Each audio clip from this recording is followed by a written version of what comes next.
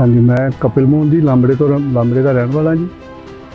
ਮੈਂ ਮੇਰੀ ਸਿਹਤ ਬਹੁਤ ਖਰਾਬ ਹੋ ਗਈ ਸੀ ਪਹਿਲਾਂ, ਤੇ ਮੇਰੇ ਲੰਗਸ 'ਚ ਪਾਣੀ ਪੈ ਗਿਆ ਸੀਗਾ, ਤੇ ਡਾਕਟਰਾਂ ਨੇ ਮੈਨੂੰ ਜਵਾਬ ਦਿੱਤਾ ਸੀਗਾ। ਤੇ ਉਹਦੇ ਵਿੱਚ ਮੇਰੀ ਮੈਸੇਜ ਨੂੰ ਕਿਹਾ ਗਿਆ ਵੀ ਇਹਨਾਂ ਨੂੰ ਸਿਵਲ ਹਸਪੀਟਲ ਦਾਖਲ ਕਰਾ ਦਿੱਤਾ ਜਾਵੇ। ਇਹਨਾਂ ਦੀ ਸੇਵਾ ਕਰੋ, ਤੇ ਇਹਨਾਂ ਨੇ ਦੋ ਚਾਰ ਦਿਨ ਹੀ ਆ। ਤੇ ਮੇਰਾ ਸਰਦਾਰ, ਮੇਰੇ ਦੋਸਤ ਇੱਕ ਫੂਲਪੁਰ ਪਿੰਡ ਤੋਂ ਸੀਗੇ। ਮੰਗਲ ਸਿੰਘ ਉਹਨਾਂ ਦਾ ਨਾਮ ਸੀਗਾ, ਤੇ ਉਹਨਾਂ ਨੇ ਮੈਨੂੰ ਦੱਸਿਆ, ਸੁਝਾਅ ਦਿੱਤਾ ਵੀ ਜੇ ਇਸੇ ਪ੍ਰੋਬਲਮ ਦੇ ਵਿੱਚ ਆ, ਤਾਂ ਤੁਸੀਂ ਇੱਕ ਵਾਰੀ ਇਹਨਾਂ ਨੂੰ ਡਾਕਟਰ ਸਾਹਿਬ ਨੂੰ ਮਿਲ ਲਓ। ਤੇ ਮੈਂ ਜਦੋਂ ਡਾਕਟਰ ਸਾਹਿਬ ਦੇ ਕੋਲ ਆਇਆ ਤੇ ਡਾਕਟਰ ਸਾਹਿਬ ਨੇ ਵੀ ਮੈਨੂੰ ਇਹ ਗੱਲ ਕਹੀ ਵੀ ਜੇ ਤੂੰ ਦੋ ਦਿਨ ਰਹਿ ਗਿਆ ਤਾਂ ਫੇਰ ਤੈਨੂੰ ਅਸੀਂ ਜਾਣ ਨਹੀਂ ਦਿੰਦੇ। ਉਹਨਾਂ ਨੇ ਜਦੋਂ ਪਹਿਲੀ ਡੋਜ਼ ਮੈਨੂੰ ਦਿੱਤੀ ਤਾਂ ਮੈਨੂੰ ਉਹਦੇ ਨਾਲ ਹੀ ਬੜਾ ਫ਼ਰਕ ਪਿਆ। ਤੇ ਮੈਂ ਅੱਜ ਬਿਲਕੁਲ ਦਵਾਈ ਨਹੀਂ ਖਾ ਰਿਹਾ।